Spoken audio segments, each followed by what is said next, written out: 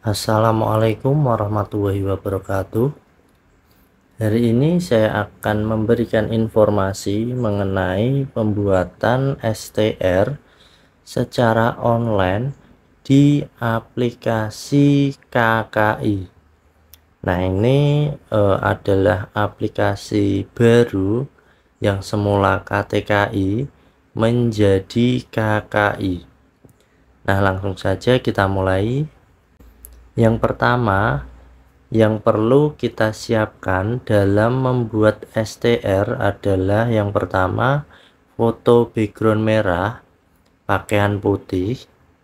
Lalu yang kedua ada KTP ketiga ijazah empat sharkom kelima rekening atas nama sendiri yang keenam email aktif yang ketujuh WA aktif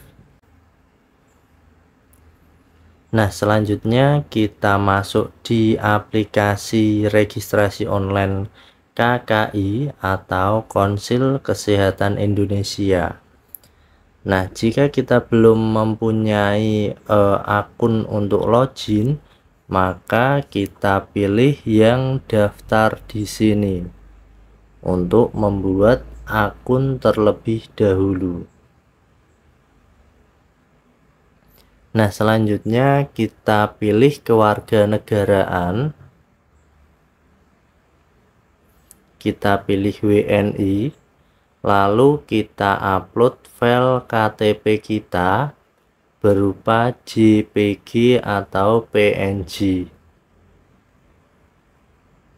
Nah, kita pilih file. Nah, jika kita uh, sudah memilih filenya, maka data kita akan terisi secara otomatis yang berupa nick, nama, jenis kelamin, tempat lahir, dan tanggal lahir. Setelah itu kita klik simpan.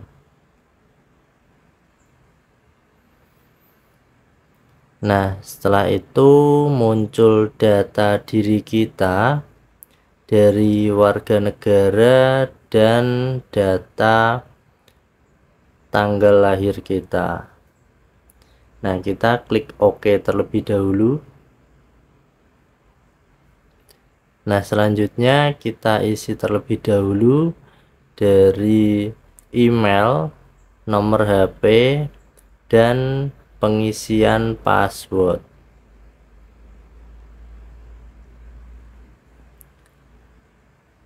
Nah, di sini dalam e, pembuatan password terdiri dari minimal 8 karakter dengan perpaduan huruf, angka, dan simbol.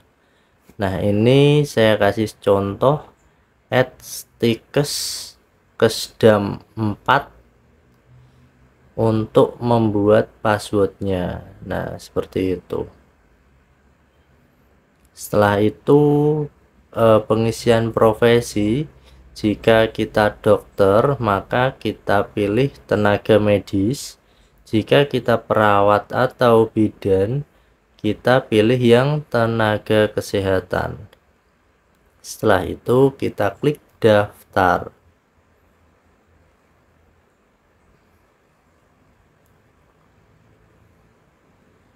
Nah kita klik OK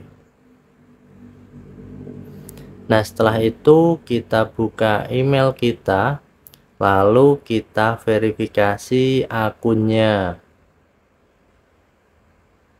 Nah, setelah uh, kita pilih aktivasi akun, maka kita bisa login di halaman utama aplikasi registrasi online.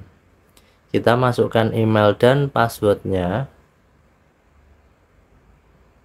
Lalu kita masuk.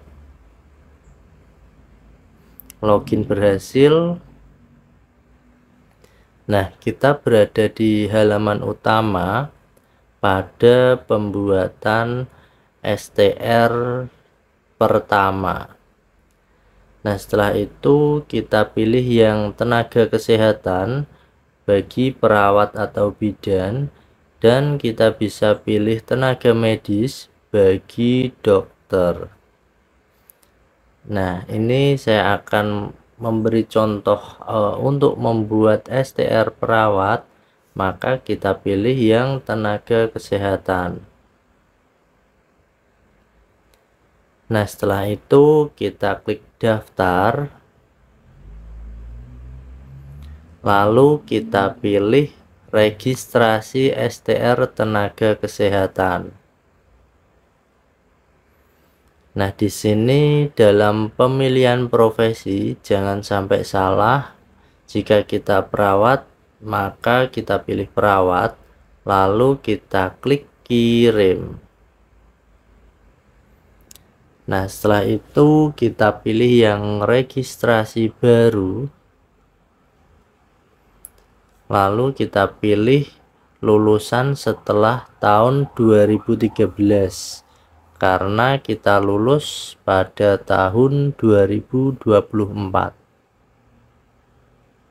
selanjutnya kita mengisi perguruan tinggi program studi dan nomor induk mahasiswa yang tertera di ijazah setelah itu kita konfirmasi data ke PD Dikti.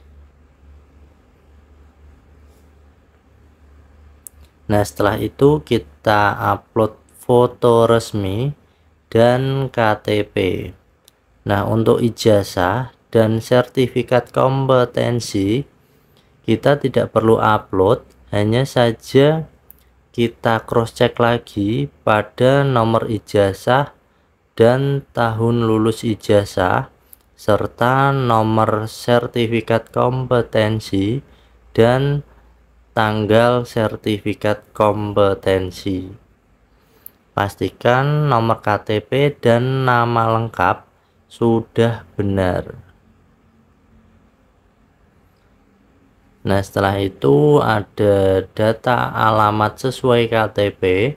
Nah, kita sesuaikan seperti yang ada di KTP jika kelurahannya tidak ada di pemilihan kelurahan, maka kita bisa isikan kelurahan terdekat di sana.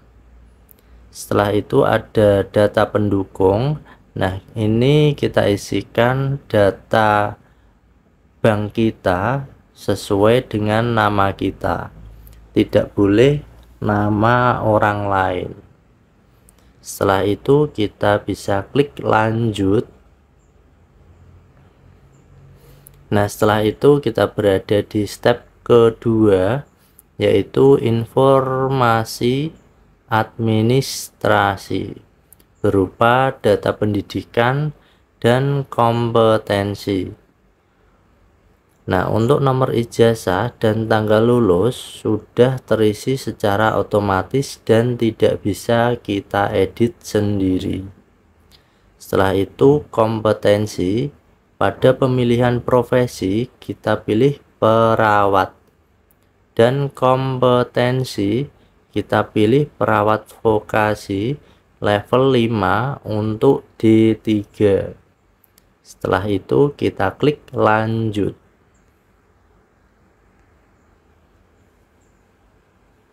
Nah, pada step ketiga tertera data sertifikat kompetensi.